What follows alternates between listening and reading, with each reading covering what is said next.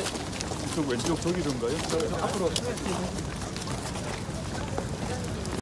어, 자신의 자녀나 지, 그 지인들을 이제 채용 척탁하는 일이 여전히 좀 벌어지고 있습니다. 이들에 대한 엄중한 처벌을 이제 어, 해야 된다고 생각하는데 이와 관련된 강력한 법- 법 개정을 저는 좀 부탁을 드리려고 하는데요. 어, 가뜩이나 그 청년들이 취업하는 게 굉장히 어렵다고 이야기하고 실제 어렵습니다. 그런데 백이 없으면 실제로 이게 취업이 어, 불가능하다는 것을 현실로 그 접하면서 그 느끼는 이 분노 박탈감이 엄청 큽니다. 장관님 만나면 저는 그 한 청년의 이야기를 드리고 싶- 싶어서 준비를 했는데요.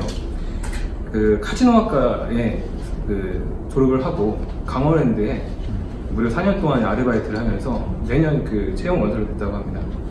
그 같이 일하던 정직원 모두가 아, 취업이 될 것 같다고 일을 잘하니까 그렇게 이야기 했는데 매번 낙방을 했습니다. 근데 2012년 13년도에 강원랜드 채용비리 사건이 엄청 컸죠. 그 신입 그 실습생 교육 실습생 뽑는데 95%가 다 부정청이었습니다. 그 사실을 나중에 뉴스를 접- 접하고 나서 이 청년이 그 홀로 그 강원랜드를 상대로 소송을 합니다. 그런데 그 하는 과정에서 이제 이게 불가능하겠다라고 하는 현실의 벽을 경험하면서 결국 결혼을 앞두고 스스로 목숨을 끊습니다. 이 작년의 일이죠. 그 부모님께서 이제 언론을 통해서 하소연을 하는데요. 채용을 청탁한 사람도, 채용을 청탁 받은 사람도 모두 처벌을 해달라고 이야기하는데 지금 어떻습니까?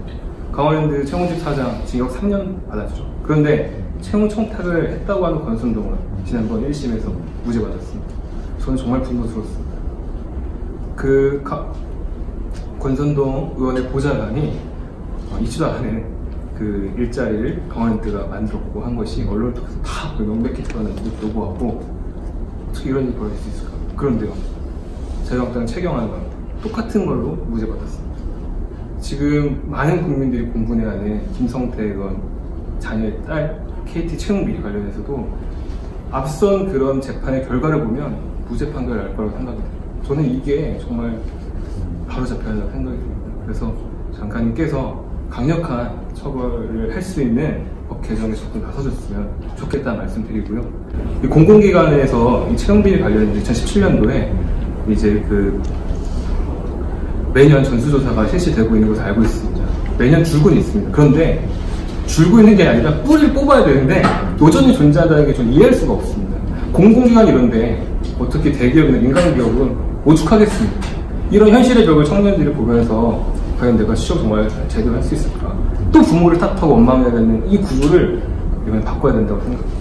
대통령의 공약이 최저임금 1만 원이 있었죠. 어, 사실대로 한다면 2020년도에 그 공약이 지켜졌어야 되는데 사실상 이제 사과의 말을 하긴 했는데 사실 청년들과 노동자들에게 최저임금 1만 원은 좀 절규라고 생각하고 살려달라고 하는 호소라 생각하거든요. 근데 결과적으로는 대통령이 약속 지키지 못한 것이죠. 분명히 알아야 될 것은 어, 통계청 자료에 따르면 현재 청년들 10명 중에 8명이 200만 원도 받지 못하는 저임금 노동자를 살고 있습니다. 그리고 심지어 그 청년들 중에 절반은 최저임금보다도 낮은 임금을 받고 살고 있는 게 현실입니다. 그 대다수의 청년들이 저임금으로 좀 살고 있는 이 현실에 최저임금 인상은 정말 너무나 그 어, 살려달라고 호소라는 점이 정말 그 장관님 뵙고 드리고 싶었던 이야기고요. 제 후배가 지방대에서 졸업을 하고 이제 대학원에 이제 진학을 하기 위해서 서울에 왔는데 부모님의 어떤 도움도 받을 수 없어서 근 2, 3년을 직장 다니면서 돈을 모아서 대학원에 지- 진학을 했습니다.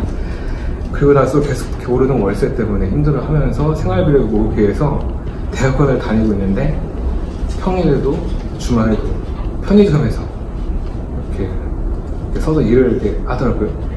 그러다가 이제 디스크가 터져가지고 병원에 입원해, 쓰고 있는데 진짜 부모님을 원망해야 되냐 우리 사회를 원망해야 되냐 제가 정말 되게 열심히 살고 있는데 이런 그, 그 친구가 그렇게 일을 해서 버린 돈이 250만 원, 300만 원 그걸로 이제 또 대학원에 등록금 마련을 해야 된다고 하는 비참한 현실이 참 너무 가슴이 아프더라고요. 근데 이런 청년들이 정말 많다.